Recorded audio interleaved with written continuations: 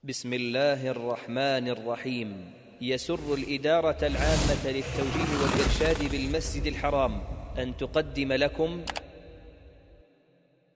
الحمد لله رب العالمين والصلاة والسلام على نبينا محمد وعلى آله وصحبه أجمعين.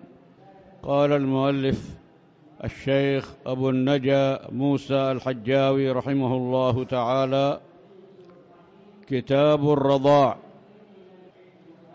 قال الشيخ صالح البليهي رحمه الله الرضاع لغة مص اللبن من الثدي.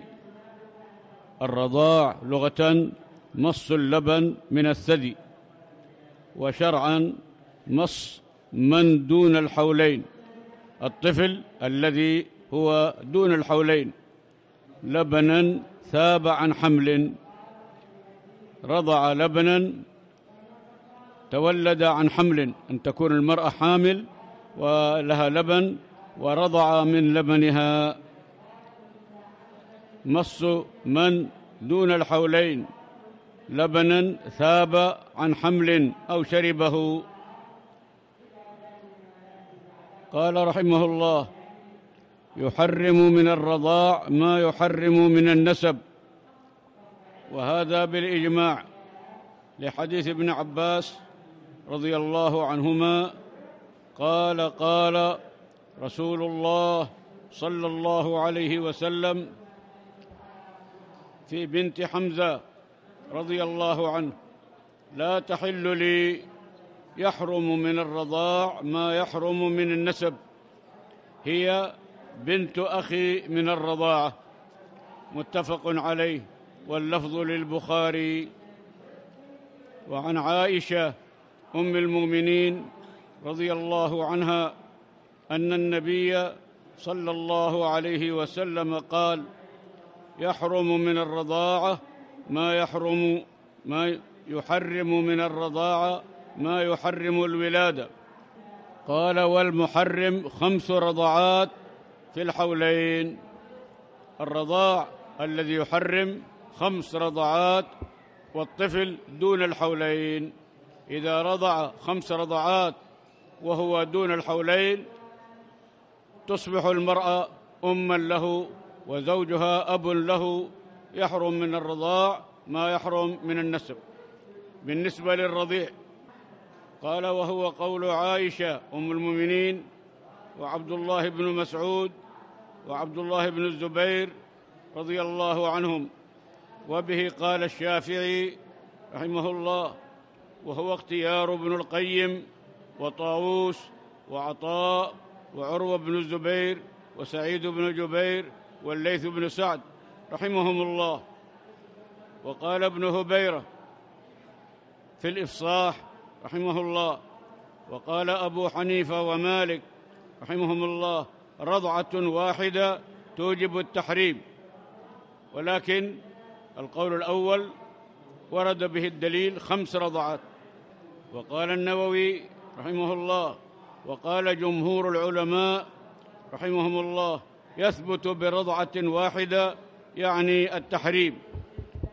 دليلنا حديث عائشة أم المؤمنين رضي الله عنها أنها قالت كان فيما نزل من القرآن عشر رضعات معلومات يحرمن ثم نسخن بخمس معلومات. فتوفي رسول الله صلى الله عليه وسلم وهي فيما يقرأ من القرآن. ورواه أحمد ومسلم وأبو داود والنسائي. رحمهم الله. فخمس رضعات يحرمن إذا كان الطفل دون الحولين. وفي صحيح مسلم ويكون اللبن ثاب عن حمل أن تكون المرأة حامل.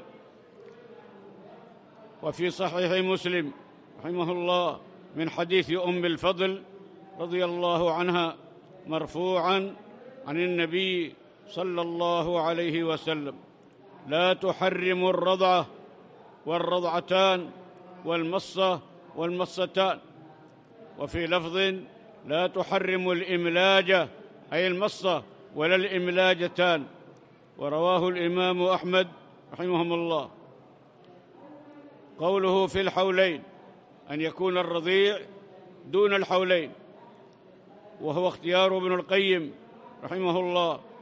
وبه قال الثلاثة رحمهم الله إلا أن أبا حنيفة رحمه الله يثبت التحريم إلى حولين ونصف ومالك رحمه الله استحسن الزيادة اليسيرة على الحولين كشهر فقال يثبت بها التحريم. على كل حال الله تعالى قال الوالدات يرضعن أولادهن حولين كاملين لمن أراد أن يتم الرضاعة. قال تعالى والوالدات يرضعن أولادهن حولين كاملين لمن أراد أن يتم الرضاعة وروى الترمذي رحمه الله وصححه عن أم سلمة أم المؤمنين رضي الله عنها قالت قال رسول الله صلى الله عليه وسلم لا يحرم لا يحرم من الرضاع لا يحرم من الرضاع إلا ما فتق الأمعاء في الثدي وكان قبل الفطام إلا اللبن الذي يجري في الأمعاء من الثدي ويكون قبل الفطام أي قبل الحولين قبل أن قبل أن يفطم الطفل يعني قبل مضي الحولين. رواه الحاكم وصححه ورواه ابن ماجه من حديث الزبير ورمز له السيوطي بالحسن رحمهم الله. وعن ابن عباس رضي الله عنهما مرفوعا لا يحرم من الرضاع إلا ما كان في الحولين. يعني الطفل لم يتم له حولان. رواه البيهقي والدار قطني رحمهم الله. وحسن ابن القيم رحمه الله إسناده. ورواه سعيد بن منصور رحمه الله موقوفا عن قول الصحابي رضي الله عنه وعن جابر رضي الله عنه مرفوعا عن النبي صلى الله عليه وسلم لا رضاع بعد فصال ولا يتم بعد احتلام. بعدما يتم حولين الرضاع لا يحرم واليتيم إذا بلغ لا يسمى يتيما. ينتهي اسم اليتيم حتى البلوغ فإذا بلغ الطفل لا يقال له يتيم. ما كان دون البلوغ يقول يسمى يتيم. لا رضاع بعد فصال بعد الحولين ولا يتم بعد احتلام. رواه أبو داود الطيالسي رحمه الله. وعن عائشة أم المؤمنين رضي الله عنها قالت دخل علي رسول الله صلى الله عليه وسلم وعندي رجل فقال من هذا؟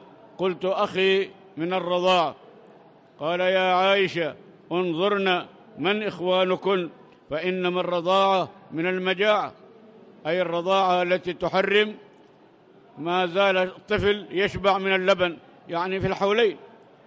وأما الرضاع بعد الحولين لا يحرم. وفي صحيح مسلم رحمه الله أن امرأة أبي حذيفة رضي الله عنها وعنه قالت يا رسول الله إن سالما يدخل علي وهو رجل وفي نفس أبي حذيفة رضي الله عنه منه شيء. فقال عليه الصلاة والسلام أرضعيه حتى يدخل عليك. تقدم من الأدلة السابقة أن الرضاع الكبير لا يحرم. وأما هذا فهو خاص. سالم كان متبنى لأبي حذيفة تربى عندهم وهو صغير ثم بلغ. فلما بلغ كان أبو حذيفة يعني يتأثر من دخوله. فعند ذلك امرأة أبي حذيفة أخبرت النبي صلى الله عليه وسلم فقال أرضعيه حتى يدخل عليك. ولكن هذا خاص. وأما رضاع الكبير فلا يحرم. وأما هذا خاص بما ورد فيه الدليل. واختار الشيخ ابن تيمية وابن القيم رحمهم الله أن رضاع الكبير يحرم إذا كان ثم أي هناك حاجة لقصة سالم. وقال الأئمة الأربعة والجمهور رحمهم الله لا يحرم. رضاع الكبير لا يحرم. وهو قول الأكابر من أصحاب النبي صلى الله عليه وسلم. وقول أزواج الرسول صلى الله عليه وسلم رضي الله عنهن سوى عائشة رضي الله عنها أم المؤمنين. واختار الشيخ ابن تيمية رحمه الله أيضا أن الارتضاع بعد الفطام لا ينشر الحرمة وإن كان دون الحولين. قال والسعوط والوجور. السعوط هو وضع اللبن في الأنف. السعوط وضع اللبن في الأنف. والوجور هو وضع اللبن بالقوة في فم الطفل. والسعوط والوجور ولبن الميتة والموطوءة بشبهة أو بعقد فاسد أو باطل أو زنا محرم إذا وضع اللبن في أنف الطفل أو سقي بالقوة. وكذلك لبن الميتة إذا رضع الطفل من الميتة والموطوءة بشبهة رضع من المرأة وطئت بشبهة أو بعقد فاسد أو باطل أو زنا محرم. أخرج أبو داود والبيهقي رحمهم الله. عن ابن مسعود رضي الله عنه أنه عليه الصلاة والسلام قال لا رضاع إلا ما أنشز العظم أي قوى العظم وأنبت اللحم. يعني الرضاع في الحولين. هو الذي يؤثر في الطفل. اللبن في الحولين يتقوى به الطفل وأما بعد الحولين لا يحرم. وحديث الصحيحين رحمهم الله إنما الرضاعة من المجاعه يعني حينما يشبع الطفل من الرضاع وهو إذا كان دون الحولين عمومه لا ينافي التغذية بالسعوط والوجور. وبهذا قال الثلاثة وأكثر العلماء رحمهم الله. قال ابن هبيرة رحمه الله في الإفصاح واتفقوا على أنه يتعلق التحريم بالسعوط والوجور. قال وعكسه البهيمة. إذا رضع من البهيمة وغير حبلى رضع من امرأة غير حامل ولا موطوءة لم يقربها زوجها فمتى أرضعت امرأة طفلا صار ولدها في النكاح والنظر والخلوة والمحرمية. وأما إذا رضع من البهيمة أو من المرأة غير الحبلى أو الموطوءة وليست موطوءة فرضاعها لا يحرم. وولد من نسب لبنها إليه بحمل أو وطء ومحارمه محارمه ومحارمها محارمه. دون أبويه وأصولهما وفروعهما. زوج المرضعة. زوج المرضعة يصبح ابا للرضيع وأولاده إخوان للرضيع. يعني خاص بالرضيع الرضيع نفسه يصير ولدهم. فزوجها أبوه وإخوانه إخوانه وهكذا. دون أبويه. أما أبو الطفل الذي رضع ما يدخل في ذلك. أبوه ما له شغل ما رضع. وأمه كذلك ما دخلت. فالتحريم خاص بالرضيع الذي الطفل الذي رضع. وقوله غير حبلى ولا موطوءة يعني أن تكون المرضعة ليست حبلى ولا وطئها زوجها فلبنها لا يحرم. هذا المقدم في المذهب فلا ينشر التحريم. وعن أحمد رحمه الله ينشر الحرمة وهو قول بن حامد وابن أبي موسى واختاره صاحب المغني وتبعه الشارح وهو قول الأئمة الثلاثة رحمهم الله. قلت وهذا القول أقوى لعموم الأدلة من الكتاب والسنة. قوله وولد من نسب لبنها إليه. هذا المقدم في المذهب أن لبن الفحل يحرم يعني زوج المرضعة يصبح أبا لذلك الطفل. وهو اختيار الشيخ ابن تيمية وابن القيم والجماهير من العلماء رحمهم الله. قال البخاري رحمه الله باب لبن الفحل. يعني الزوجة المرضعة وقال ابن هبيرة رحمه الله واتفقوا على أن لبن الفحل يحرم. يعني الزوجة المرضعة يصبح أبا للرضيع لأن اللبن يخلقه الله من المائين من ماء المني من مني المرأة ومني الرجل. فاللبن مشترك. فزوج المرضعة يصبح أبا للرضيع. فتباح المرضعة لأبي المرتضع وأخيه من النسب. وأمه وأخته من النسب لأبيه وأخيه من الرضاع. المرأة المرضعة التي أرضعت الطفل تجوز لأبي المرتضع أبو ذلك الطفل لأنه ما دخل في الحرمية. المحرمية للطفل فقط. فتباح المرضعة لأبي المرتضع أبو ذلك الطفل وأخيه من النسب. وأمه وأخته من النسب لأبيه وأخيه من الرضاع لأن التحريم خاص بالطفل الذي رضع. ومن حرمت عليها بنتها ومن حرمت عليها بنتها فأرضعت طفلة حرمتها عليه وفسخت نكاحها منه إن كانت زوجة. ومن حرمت عليها بنتها فأرضعت طفلة حرمتها عليه وفسخت نكاحها منه إن كانت زوجة قوله وولد من نسب لبنها إليه. قوله صار ولدها في النكاح. الذي رضع صار ولدها لقوله تعالى وأمهاتكم اللاتي أرضعنكم. فالمرأة المرضعة صارت أم للطفل. إذا رضع خمس رضعات وهو دون الحولين. قوله دون أبويه وأصولهما وهو اختيار الشيخ وابن القيم رحمهم الله.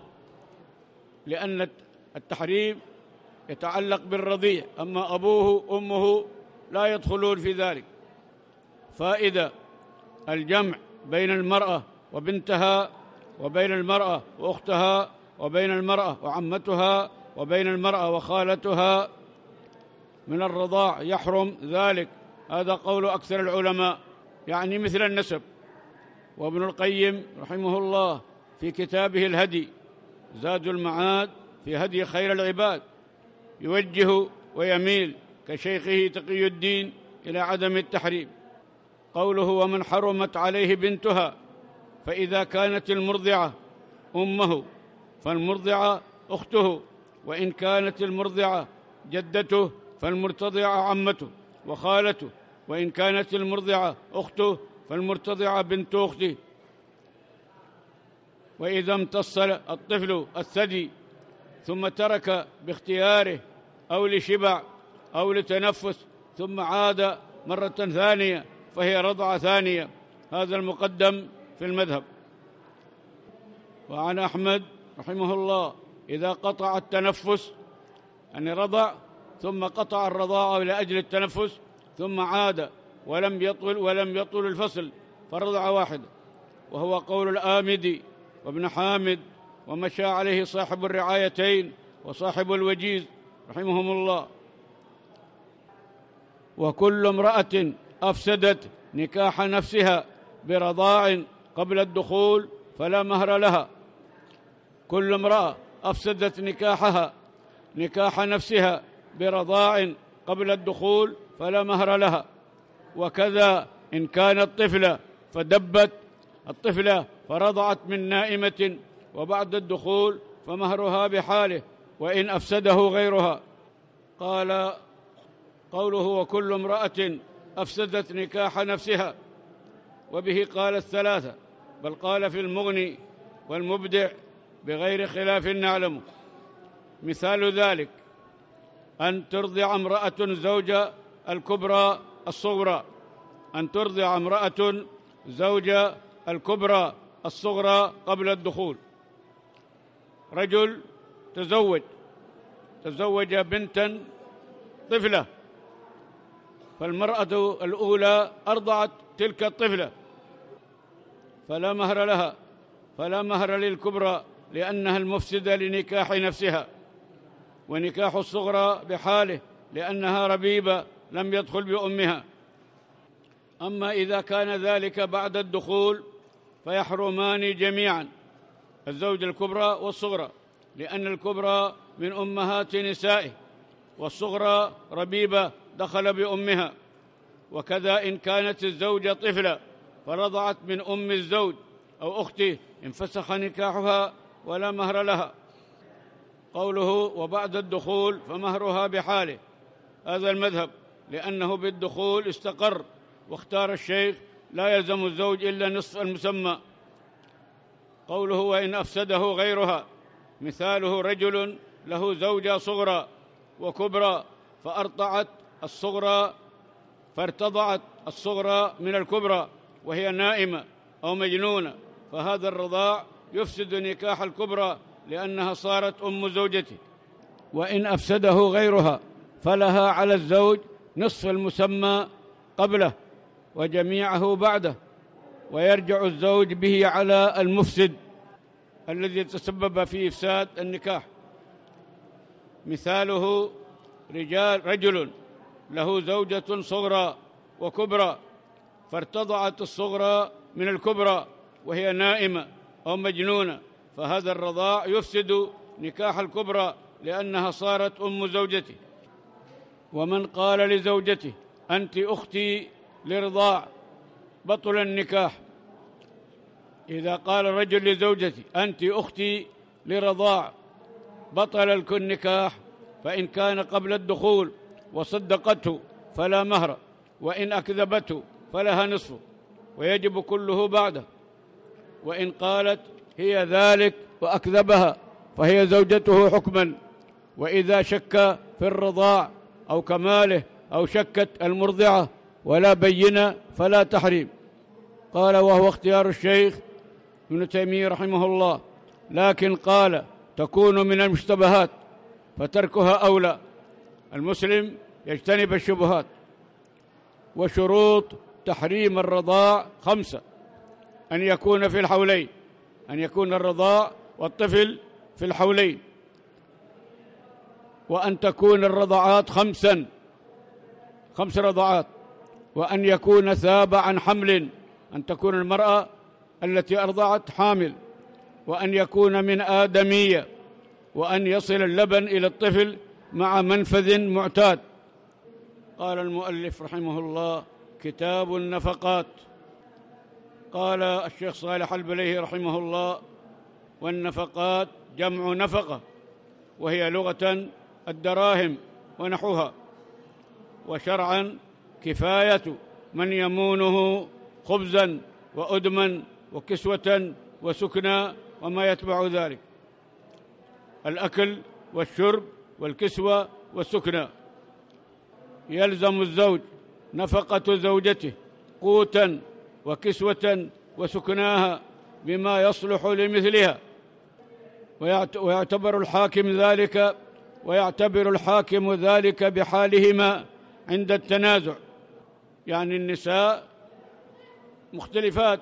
إذا كانت المرأة من أهل الغنى فنفقتها يناسب حالها وإن كانت فقيرة فنفقتها بحسب حالها. يلزم الزوج نفقة زوجته قوتا وكسوة وسكناها بما يصلح لمثلها.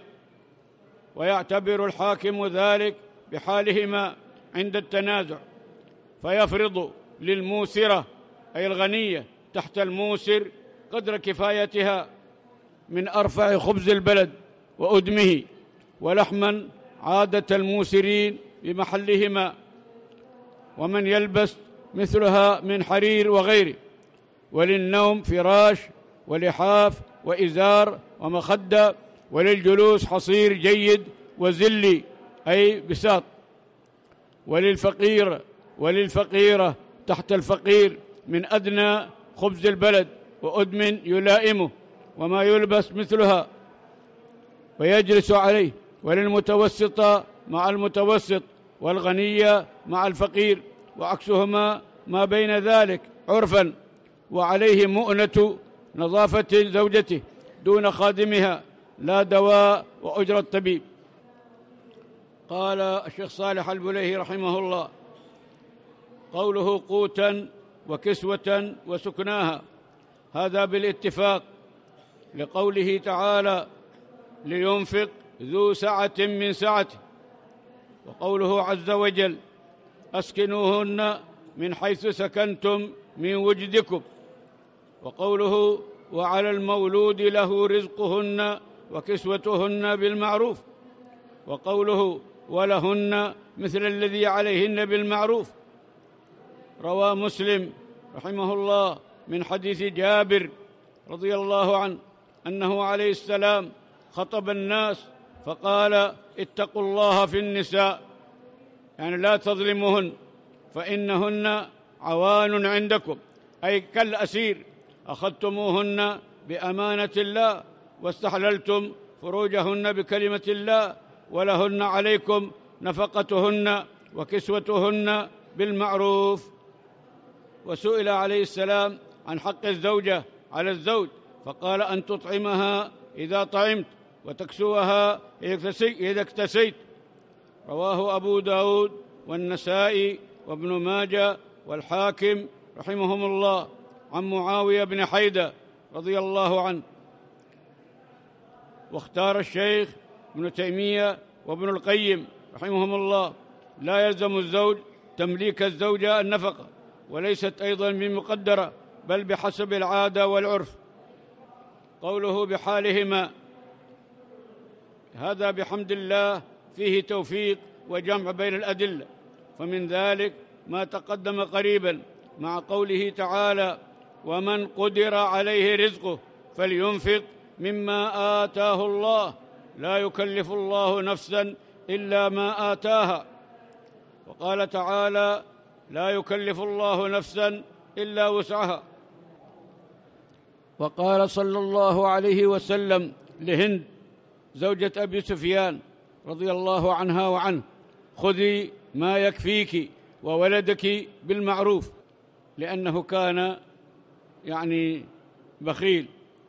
فأذن لها أن تأخذ من ماله ما يكفيها وولدها بالمعروف لا بال لا بالتبذير والإسراف لكن الشيء الذي لا بد منه. ومن المعروف مراعاة حال الزوجين. وعند الإمامين أبي حنيفة ومالك رحمهم الله المعتبر حال الزوجة. وعند الشافعي رحمه الله المعتبر حال الزوج.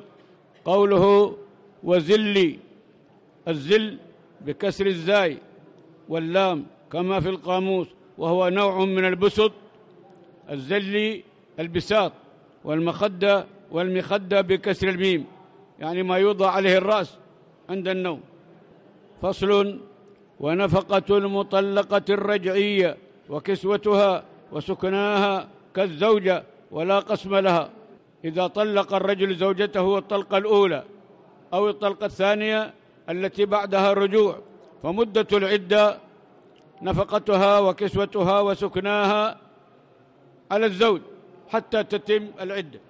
والبائن أي المطلقة الطلقة الثالثة والبائن بفسخ أو طلاق لها ذلك. إن كانت حاملا إن كانت المرأة حامل فلها النفقة والسكنى إذا كانت حاملا. ولو كان الطلاق بائن. والنفقة للحمل لا لها من أجله. لقوله تعالى وإن كن أولات حمل فأنفقوا عليهن حتى يضعن حملهن. وهذا بالإجماع إذا كانت حاملا. أما البائن غير الحامل فلا نفقة لها ولا سكنى على الصحيح من المذهب. إذا طلقها الطلقة الثالثة وهي غير حامل فلا نفقة لها ولا سكنى لأنها لا رجوع لها. طلاق بائن الثالثة. وعن أحمد رحمه الله لها السكنى دون النفقة وهو قول عمر وابن مسعود وابن عمر وعائشة أم المؤمنين رضي الله عنهم وبه قال فقهاء المدينة السبعة ومالك والشافعي رحمهم الله. وقال الإمام أبو حنيفة رحمه الله لها السكنى والنفقه وفقهاء المدينة سعيد بن المسيب وعروة بن الزبير والقاسم بن محمد وخارجة بن زيد وسليمان بن يسار وعبد الله بن عبد الله بن عتبة بن مسعود وأبو بكر بن عبد الرحمن بن الحارث بن هشام. هؤلاء الفقهاء السبعة. إذا قال فقهاء سبعة فالمراد هؤلاء سعيد بن المسيب وعروة بن الزبير والقاسم بن محمد وخارجة بن زيد وسليمان بن يسار وعبد الله بن عبد الله بن عتبة بن مسعود وأبو بكر بن عبد الرحمن بن الحارث بن هشام. هؤلاء الفقهاء السبعة. دليلنا قوله تعالى وإن كن أولات حمل فأنفقوا عليهن حتى يضعن حملهن.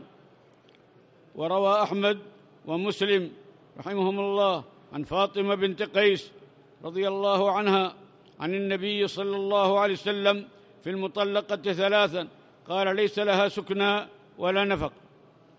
إذا طلقت الطلقة الثالثة وهي غير حامل فلا نفقة لها ولا سكنى لأنه طلقها الطلقة الثالثة. وأخرج الإمام أحمد ومسلم وأبو داود والنسائي رحمهم الله عن فاطمة بنت قيس رضي الله عنها قالت طلقني زوجي ثلاثا أي الطلقه الثالثه فلم يجعل لي رسول الله صلى الله عليه وسلم سكنى ولا نفق لأنها غير حامل وهي مطلقة الطلقه الثالثه وهو قول علي وابن عباس وجابر رضي الله عنهم وهو اختيار ابن القيم وقول الشيخ الإسلام تقي الدين رحمهم الله وبه قال كثير من العلماء رحمهم الله. أما الحامل لها النفقة لأجل الحمل. قال والنفقة للحمل لا لها من أجله. هذا المذهب. النفقة للحمل لا لها من أجله. وعنه قول آخر إن النفقة لها من أجله وللخلاف فوائد. ذكر منها ابن رجب رحمه الله في القواعد وتبعه في الإنصاف ستة عشر فائدة. منها أن تجب النفقة لزوجة ناشز على المذهب. يعني إذا كانت عاصية وهي حامل فلها النفقة. وعلى الرواية الثانية لا تجب. ومنها أنها تجب على المذهب لحامل من وطئ شبهة أو نكاح فاسد وعلى الروايه الثانية لا تجب. ومنها إذا لم ينفق الزوج لغيبته أو عسرته يعني ما عنده.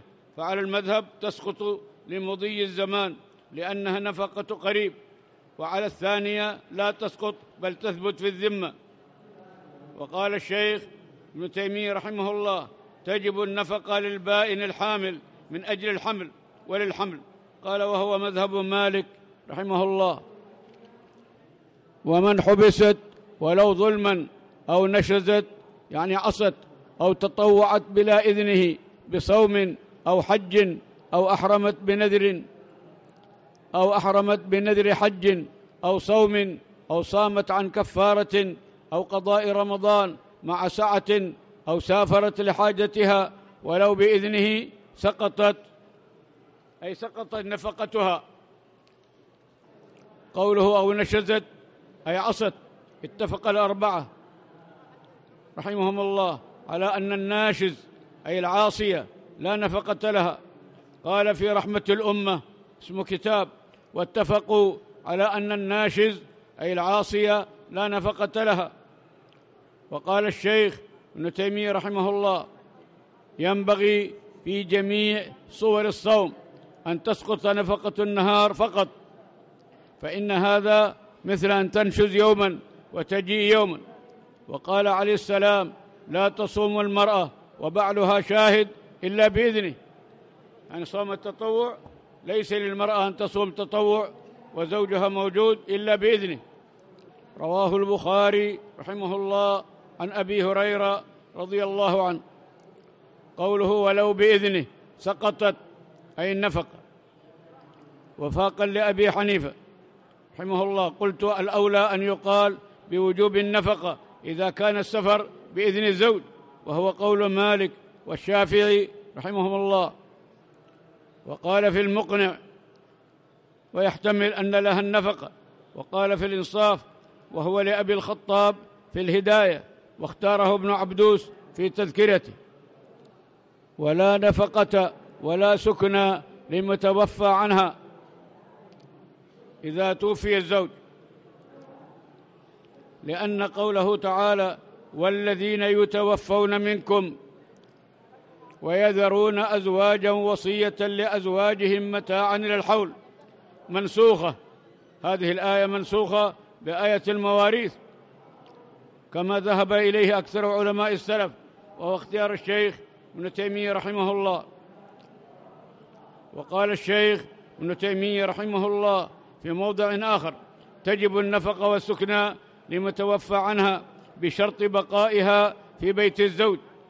فعلى المقدم في المذهب لا تجب النفقة للمتوفى عنها ولو كانت حاملا لأن المال انتقل إلى الورث. ولكن تجب النفقة للحامل من نصيب الحمل.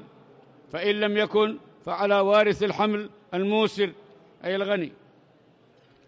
قال ولا نفقة ولا سكنى لمتوفى عنها ولها أخذ نفقة كل يوم من أوله لا قيمتها ولا عليها أخذها فإن اتفقا عليه أو على تأخيرها أو تعجيلها مدة طويلة أو قليلة جاز. ولها الكسوة كل عام مرة في أوله وإذا غاب ولم ينفق لزمته نفقة ما مضى وإن أنفقت في غيبته من ماله فبان ميتا غرمها الوارث ما أنفقته بعد موته. فصل ومن تسلم زوجته أو بذلت نفسها ومثلها يوطى يعني بنت التسع وجبت نفقتها ولو مع صغر الزوج ومرضه وجنه وعنته وجبه وعنته. الجب هو قطع الذكر والعنين والذي لا يقوم ذكره. ولها منع نفسها حتى تقبض صداقها الحال. قوله ومثلها يوطى وهذا قول أكثر العلماء. والذي مثلها يوطى غالبا هي من تم لها تسع سنين.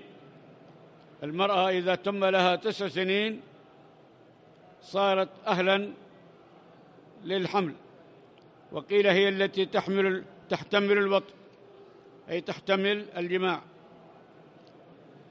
ومن تسلم زوجته أو بذلت نفسها ومثلها يوطأ يعني بنت التسع وجبت نفقتها ولو مع صغر الزوج ومرضه وجب وجبه وعنته ولها منع نفسها حتى تقبض صداقها الحال. قال ولها الكسوة كل عام. قلت الأولى أن يكون ذلك على حسب العادة وبقدر الحاجة لأن العادة لها دخل في الشريعة الإسلامية. قوله لزمه نفقة ما مضى وفي الإفصاح وهو قول مالك والشافعي وعنه تسقط بمضي الزمان إلا أن يكون الحاكم قد فرضها. وبه قال أبو حنيفة رحمه الله دليلنا عموم الآيات والأحاديث الواردة في وجوب النفقة نفقة الزوجة.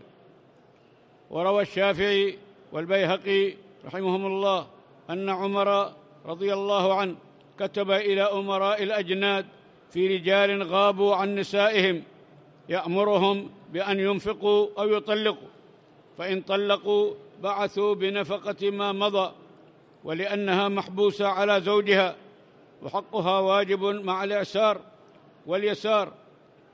نفقة الزوجة واجبة مع الإعسار واليسار فلم يسقط بمضي الزمان. ومن تسلم زوجته أو بذلت نفسها ومثلها يوطأ عن بنت التسع وجبت نفقتها ولو مع صغر الزوج ومرضه وجبه المقطوع الذكر وعنته لا يقوم ذكر ولها منع نفسها حتى تقبض صداقها الحال. قوله ومثلها يوطأ وهذا قول أكثر العلماء رحمهم الله. والذي مثلها يوطأ غالبا هي من تم لها تسع سنين وقيل هي التي تحتمل الوطء يعني تحتمل الجماع. فإن سلمت نفسها طوعا ثم أرادت المنع لم تملكه. أولا سلمت نفسها ثم بعد ذلك منعت. ليس لها المنع بعدما سلمت نفسها طائعة.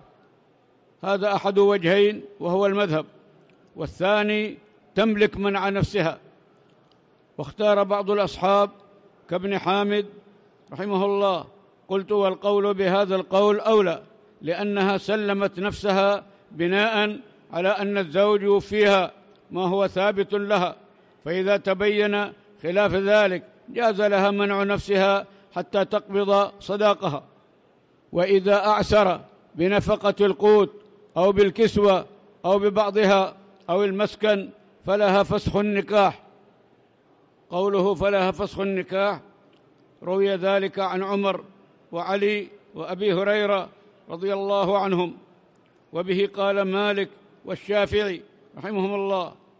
وعن أحمد رحمه الله لا يثبت الفسخ بالإعسار. وبه قال أبو حنيفة وكثير من العلماء رحمهم الله. دليل المذهب قوله تعالى فإمساك بمعروف أو تسريح بإحسان. وعن أبي هريرة رضي الله عنه عن النبي صلى الله عليه وسلم قال الصدقة ما كان منها عن ظهر غنى. يعني أن تتصدق وتبقي لنفسك ما تنفق به. الصدقة ما كان منها عن ظهر غنى. واليد العليا يد المتصدق خير من اليد السفلى السائل. وابدأ بمن تعول. ابدأ بنفقة الأهل والأولاد. فقيل من أعول يا رسول الله؟ قال امرأتك. ممن تعول. تقول أطعمني وإلا فارقني. جاريتك أي الأمة المملوكة. تقول أطعمني واستعملني. ولدك يقول إلى من تتركني. رواه أحمد والدار قطني رحمهم الله بإسناد صحيح فأخرجاه في الصحيحين رحمهم الله وجعل الزيادة المفسرة فيه من قول أبي هريرة رضي الله عنه. وعن أبي هريرة رضي الله عنه عن النبي صلى الله عليه وسلم في الرجل لا يجد ما ينفق على امراته قال يفرق بينهما. ولكن عند المحققين أن هذا من قول سعيد بن المسيب. يعني لا من قول النبي صلى الله عليه وسلم. وإذا أعسر بنفقة القوت أو بالكسوة أو ببعضها أو المسكن فلها فسخ النكاح. فإن غاب ولم يدع لها نفقة وتعذر أخذها من ماله واستدانتها عليه فلها الفسخ بإذن الحاكم. لما رواه سعيد بن منصور رحمه الله عن أبي الزناد قال سألت ابن المسيب رحمه الله عن الرجل لا يجد ما ينفق أيفرق بينهما؟ قال نعم. قلت سنة؟ قال سنة. قال ابن القيم رحمه الله وهذا ينصرف إلى سنة النبي عليه السلام. فغايته أن يكون من مراسيل ابن المسيب. المرسل ما رفعه التابعي إلى النبي صلى الله عليه وسلم. وقال الشيخ تقي الدين ابن تيمية رحمه الله وإذا تعذرت النفقة من جهة الزوج فلها فسخ النكاح والفسخ للحاكم. أما ابن القيم رحمه الله فعنده تفصيل يستحسنه المصنف فإن قال والذي تقتضيه أصول الشريعة أن الرجل إذا غر المرأة بأنه ذو مال يعني قال أنه كثير المال فتزوجها على ذلك فظهر معدما أي ظهر أنه فقير أو كان ذا مال وترك الإنفاق عليها ولم تقدر على أخذ كفايتها من ماله بنفسها ولا بالحاكم أن لها الفسخ وإن تزوجته عالمة بعسرته يعني أنه فقير أو كان موسرا ثم أصابته جائحة فلا فسخ في ذلك. قال المعلق قال الحافظ ابن حجر رحمه الله في التلخيص للرواية الأولى علة بينها ابن القطان وابن المواق وذلك أن الدار قطني أخرج من طريق شيبانة عن حماد عن عاصم عن أبي صالح عن أبي هريرة رضي الله عنه. أن النبي صلى الله عليه وسلم قال المرأة تقول لزوجها أطعمني أو طلقني. الحديث يعني فيه ضعف. وعن حماد عن يحيى بن سعيد عن ابن المسيب أنه قال في الرجل يعجز عن عن نفقة امرأته. قال إن عجز فرق بينهما. ثم أخرج من طريق إسحاق بن منصور عن حماد عن يحيى عن سعيد بذلك. وبه إلى حماد عن عاصم عن أبي صالح عن أبي هريرة رضي الله عنه مثله. قال ابن القطان رحمه الله ظن الدار قطني رحمه الله لما نقله من كتاب حماد بن سلمة أن قوله مثله يعود على لفظ سعيد بن المسيب وليس كذلك وإنما يعود على حديث أبي هريرة رضي الله عنه وتعقبه ابن المواق بأن الدار قطني لم يهم في شيء في شيء. وغايته أنه أعاد الضمير إلى غير الأقرب. لأن في في السياق ما يدل على صرف صرفه للأبعد. انتهى. وقد وقع وقد وقع البيهقي. وقد وقع البيهقي. ثم ابن ثم ابن الجوزي فيما خشيه ابن القطان. فنسب لفظ ابن المسيب إلى أبي هريرة رضي الله عنه مرفوعا وهو خطأ بين فإن البيهقي أخبر أثر ابن أخر أثر ابن المسيب ثم ساق رواية أبي هريرة فقال مثله وبالغ في الخلافيات فقال وروي عن أبي هريرة رضي الله عنه مرفوعا في الرجل لا يجد ما ينفق على امرأته يفرق بينهما كذا قال واعتمد على ما فهمه من سياق الدار قطني والله المستعان وانتهى كلامه. يعني الكلام هذا فيه نظر. باب نفقة الأقارب والمماليك والبهائم. قال الشيخ صالح البليهي رحمه الله فائدة ها هي الشريعة الشريعة الكاملة في مصادرها ومواردها التي لا تصلح الأمم والشعوب ولا يحصل لها الأمن والاطمئنان إلا إذا تمشت خلف نظامها. تثبت النفقة للأقارب أداء للصلة التي جعلها الله بينهم وقياما بواجب حقوق القرابة وبذلك وغيره من واجبات الشريعة إذا قامت به الأمم الإسلامية والمجتمعات البشرية. وجد أعظم مطلوب وهي المحبة الإيمانية والرابطة الإسلامية وبذلك يدوم مجدها وعزها وتكون مرهوبة الجانب صامدة أمام كل عدوان. ويشترط لوجوب الإنفاق على الأقارب شروط أربعة. الأول أن يكون المنفق عليهم أن يكون المنفق عليهم فقراء. لا مال لهم ولا كسب يستغنون به. الثاني أن يكون المنفق وارثا للمنفق عليه إذا كان من غير عمودي النسب. الثالث غنى المنفق أن يكون المنفق غني. الرابع اتفاق الدين بين المتفق عليه لأن الله قطع الموالاة بين الكافرين والمسلمين. تجب لأبويه تجب النفقة نفقة الولد لأبويه. لقوله تعالى وقضى ربك ألا تعبدوا إلا إياه وبالوالدين إحسانا. وقوله عز وجل وقوله عز من قائل وصاحبهما في الدنيا معروفا. وقوله أن اشكر لي ولوالديك. وعن أبي هريرة رضي الله عنه قال قال رجل يا رسول الله أي الناس أحق مني بحسن الصحبة؟ قال أمك. قال ثم من؟ قال أمك. قال ثم من؟ قال أمك. قال ثم من؟ قال أبوك. متفق عليه. فالأم حقها أعظم لأنها تحملت مشاق عظيمة. وبر الوالدين من أهم الواجبات. والأب تعب وتحمل المشاق في الكسب. فلا بد من بر الوالدين. وروى الخمسة رحمهم الله من حديث عائشة أم المؤمنين رضي الله عنها مرفوعا إن أطيب ما أكلتم من كسبكم وإن أولادكم من كسبكم فكلوا من أموالهم. ورواه أيضا ابن حبان والحاكم.